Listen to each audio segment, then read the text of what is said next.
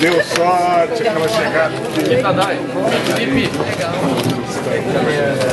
Não, mas não tinha visto aqui, meu. Obrigado. Medalha?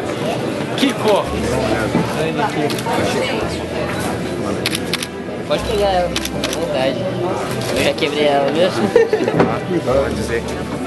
Deixa pra Fica pega. Prazer conhecê-la. Muito obrigada. Muito obrigada. É um prazer, né? Trazer um Flash para o Rio Grande do Sul, nosso estado. Ah, o orgulho é imenso, mal cabe no peito. É uma sensação indescritível, né? São 17 medalhas para todo o território nacional. Então, eu consegui um, a gente conseguiu um feito importante, né?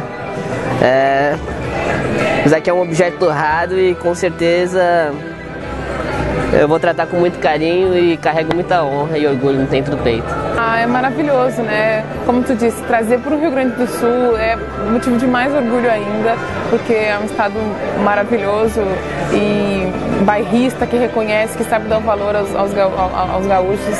E é motivo de muito orgulho, eu estou muito feliz. E um beijo a todos os gaúchos, eu quero agradecer muito a torcida, a energia positiva que foi enviada para mim em Londres. Muito obrigada. Aqui, tá aqui. A tão suada medalha.